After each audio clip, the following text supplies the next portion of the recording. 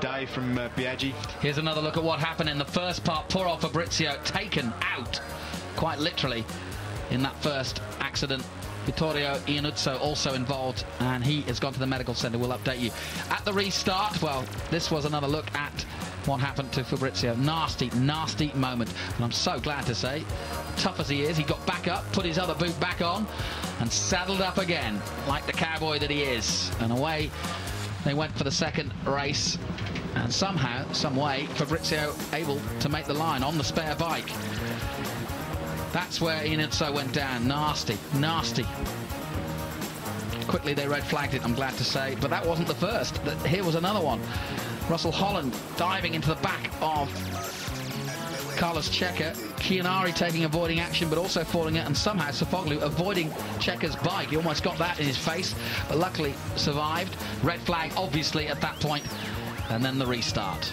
Cracking start from Bayliss. He was away at the races, down towards the Doohan curve. And he's starting to get into Doohan-esque territory in terms of the love of the Australian fans, for sure, if not more so.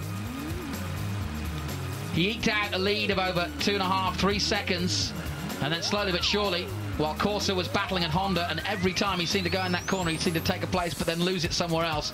But the man on the move was, without doubt, Massimiliano Biaggi. The Roman Emperor was trying to claim some Roman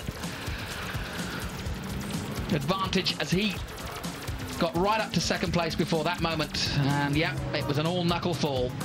Fabrizio, meanwhile, boom! was he having fun? Shaping up, masking off, facing off. Somehow Corser saved that one. He should go and do some rodeo.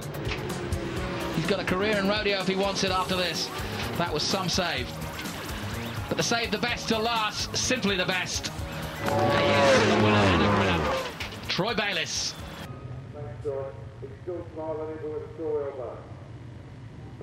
Yeah, from uh, Troy that uh, is more than the stars. It's uh, but uh, a uh, in a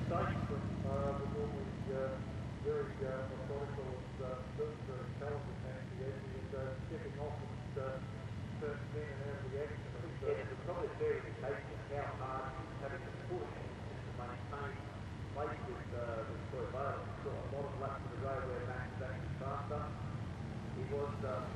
was close in. Andy 16 at the moment has had lead the manufacturer's